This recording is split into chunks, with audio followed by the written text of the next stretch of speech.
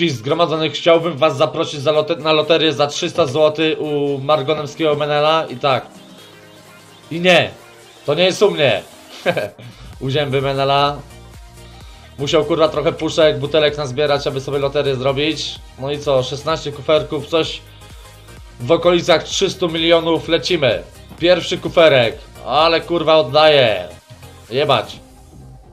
Bum. O ho ho. Wiadomo, bestia nie przedłuża loterii, także lecimy. O, mało kokciwca. Ciekawe ile kamyków czerwonego smoka spadnie. O, wyzwanie jest. Wyzwanie jest. O, błogo. Ale tych łusek oddaje. No, fajnie, fajnie. O, kolejne błogo. Loteria na szybko. Tutaj jakieś złoto.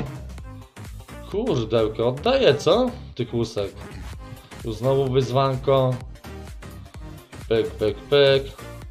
Nie ma co tutaj dużo opowiadać. Sami sobie zwróćcie uwagę. Eee. Ale jednego kamyka z czerwonego smoka. Ja pierdolę. Rzeczywiście. Loteria zachęca, aby kurwa wydać swoje ostatnie grosze. No i co mogę wam powiedzieć? No, 7 wyzwań. Gdyby nie te wyzwania, to by była lipa w chuj. 15 ucieczek, tak? Raz, dwa, trzy.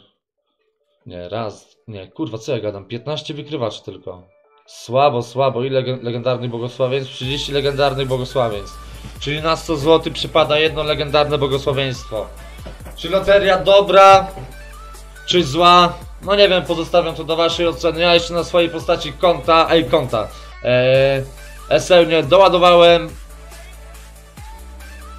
No i kurwa, no nie wiem, czy ta loteria mnie zachęciła.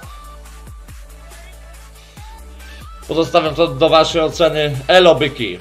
Jadą, jadą.